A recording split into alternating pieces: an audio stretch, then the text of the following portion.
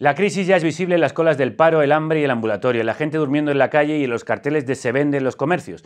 Pero nadie tiene un programa para contener la pandemia, sacar adelante al país y reconstruir lo destruido. La derecha quiere hundir al gobierno aunque nos hundamos nosotros y el gobierno parece más ocupado en defenderse que en defendernos. La revista científica de Lancet lo dice en su último editorial. España fracasa por la descoordinación autonómica y central. No hay nadie al volante. El sistema autonómico naufraga porque la oposición torpedea al gobierno, pero también porque el gobierno no tiene un mapa de ruta claro.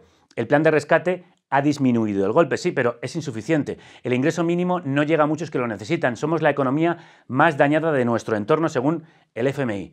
Sin embargo, el gobierno no se plantea ni el impuesto a los millonarios ni limitar los alquileres hasta después de la pandemia, cuando sea demasiado tarde, pese a la presión de Unidas Podemos.